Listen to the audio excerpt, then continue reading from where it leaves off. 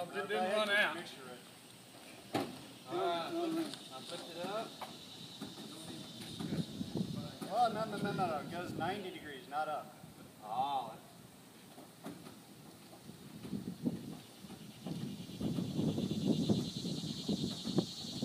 In other words, he had to prime the engine. Boy, you would have been cranking a long time. I felt like I was cranking. You get to work out, would you? Yeah. Okay, it feeds.